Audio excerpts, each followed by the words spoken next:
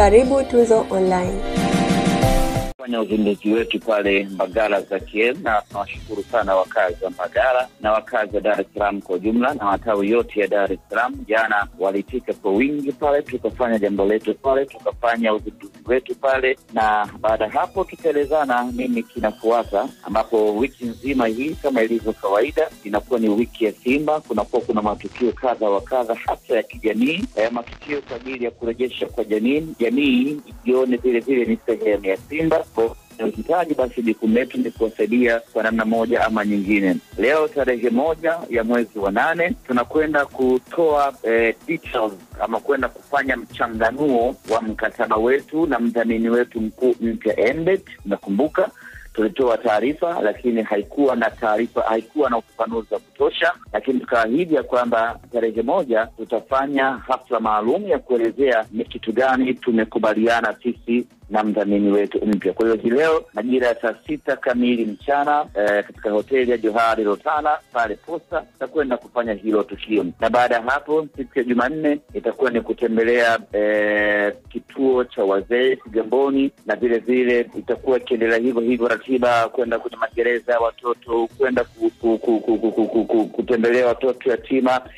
vitu kama hivyo, na kile ambacho tunakifanya sisi huku makao makuu, basi na vile vile mikoani kwenye matawi tunashauri na wenyewe wakafanya jambo kama hilo kwa ajili ya jamii, na wakati huo tukisubiri ndani ya wiki hii kuona uzinduzi wa jezi zetu mpya kuelekea msimu ujao. na hali ya kikosi kule nchini Egypt iko namna gani? Maana uh, tunajua kwamba msimu unakaribia kufika Ahmed. ya msimu unakaribia na leo tunacheza mchezo wetu wa tatu wa kirafiki uh, dhidi ya Al Khulud kutoka Saudi Arabia, na utakuwa ni mchezo wetu mchezo wetu wa nne na utakuwa ni mchezo wetu wa mwisho wa kirafiki kwenye pre-season yetu, na baada ya hapo ndani ya wiki hii tarehe nne kikosi kinarejea Dar es Salaam kwa ajili sasa ya Simba Day pamoja na mechi yetu ya karibuni hapa tarehe kumi na tatu mwezi wa nane ngao ya hisani. Lakini tayari kuna baadhi ya nyota ambao walikuwa katika kikosi chenu huko Egypt wamerudi nyumbani Tanzania.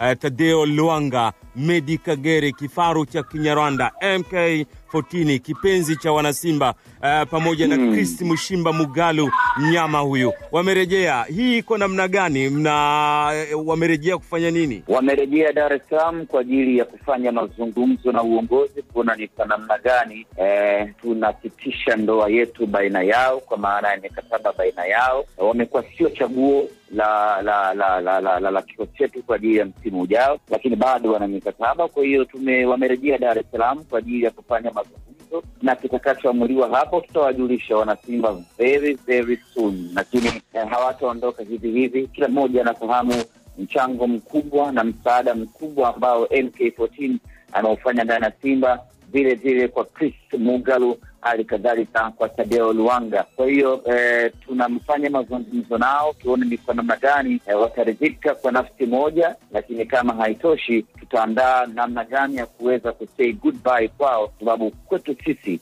hawa ni mashujaa wetu.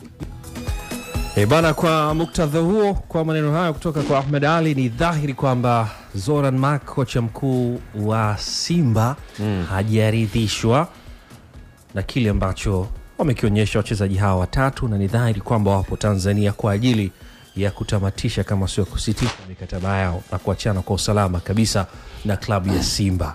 Tadeo Luanga, Medi Kagere pamoja na Chris Mushimba Mugalu. Sawasawa, Nasiri Alfan Sawa. yamezungumzwa sana haya.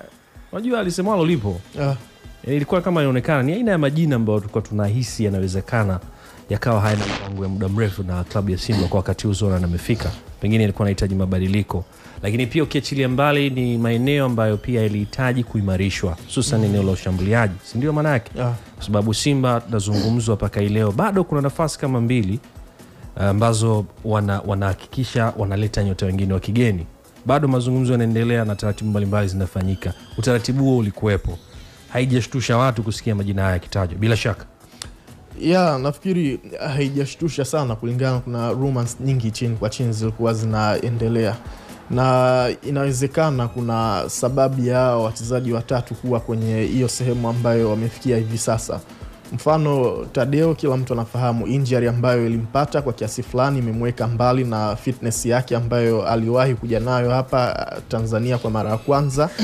Umeangalia hata jinsi ambavyo alivyorudi uwanjani, bado ulikuwa unaona uh, fitness yake haipo vizuri vile. Kwa hiyo inawezekana kwenye kipindi hichi ambacho Simba wamekaa naye wameona labda ni mchezaji ambaye hawezi tena kurudi kwenye ule utimamu wa kimwili ambao aliopo naye, wakaona labda uh, maslahi mazuri ya wao na mchezaji mwenyewe ni kuamua kuisitisha hiyo ndoa, lakini inawezekana stori hiyo pia ikawa kwa kiasi fulani inaendana na Mugal. Usifikiri kama baada ya kuisha ule msimu juzi Simba wangefikiria kuachana na Chris Mugal kwa jinsi ambavyo alicheza ule msimu wake wa kwanza, licha ya kwamba alikuwa anapata dakika chache sana uwanjani, lakini mchango wake ndani ya Simba ulikuwa mzuri sana.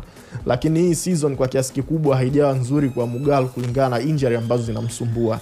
In, uh, nafikiri uh, haijafika hata michezo kumi ya ligi ambayo ameitumikia Simba. Kwa hiyo injury zimemfanya muda mwingi awe nje ya uwanja kuliko uh, ndani ya uwanja. Kwa hiyo inawezekana pia Simba akaona kabisa huyu mchezaji ni ngumu yeye kuweza kurudi kwenye ule utimamu wake wa kimwili na performance yake ikawa kama ya season uh, ile season juzi. Kwa hiyo akaona ni bora labda na huyu tuachane naye na ukiangalia au ni wachezaji wawili yeye pamoja na, na Kagere ambao walikuwa wanacheza kwenye eneo la ushambuliaji, na hilo ni eneo kwa msimu uliopita wa Simba halijafanya vizuri. Ukiwachukua au washambuliaji watatu wote wa Simba ambao walikuwepo season iliyopita wote hawajatimiza magoli kumi, lakini mm. season juzi hawa watatu walifunga zaidi ya magoli arobaini. Kwa hiyo ni lazima kama una washambuliaji watatu alafu hawajakupa hata magoli kumi ya ligi ni lazima uangalie namna gani ambavyo unaweza kuboresha kwenye hilo eneo, na ukijua kwamba una wachezaji watatu tayari, ni ngumu labda kuweza kurundika wachezaji labda wanne watano kwenye eneo moja. Kwa hiyo ni lazima ufikirie namna gani ambavyo unaweza ukawaondoa wengine. Kwa